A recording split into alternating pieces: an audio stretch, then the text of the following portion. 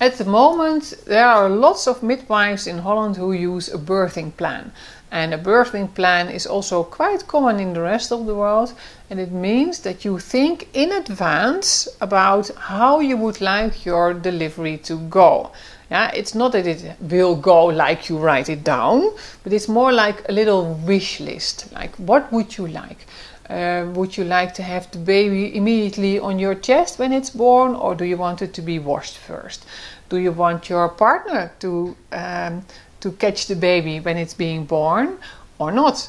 Or um, would you like to have your mother uh, present during the birth, or your sister, or your friend, or do you want to be um, uh, coached by your partner?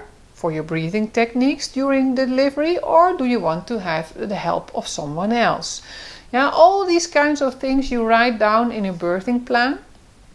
You write, keep in mind that you make um, it easy to read for other people. So not four pages of huge amount of words, just small, boom, boom, boom, boom, and make it uh, so that it can easily be read. So you do a little a chapter or a lot of little piece about the delivery, little piece about right after the delivery, uh, uh, breastfeeding, uh, in case of an intervention, uh, coaching, and all these things you write down uh, very um, like point wise.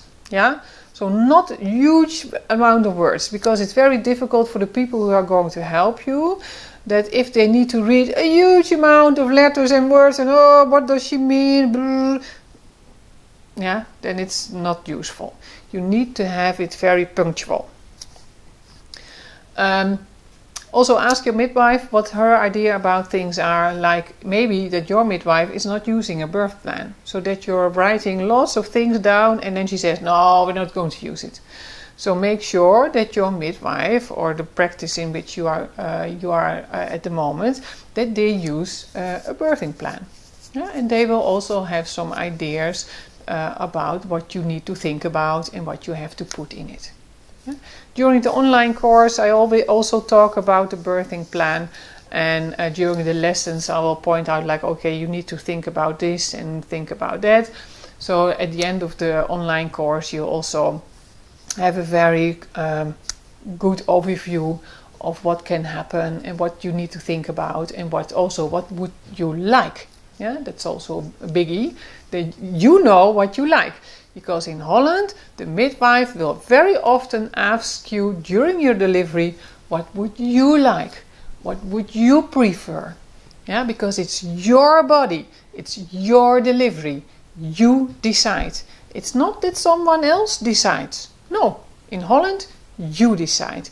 And that is sometimes for the expats among us a little bit strange because maybe in your home country, eh, as soon as your delivery starts, doctors take over and they decide. But now you are in Holland and you have a big say in your delivery.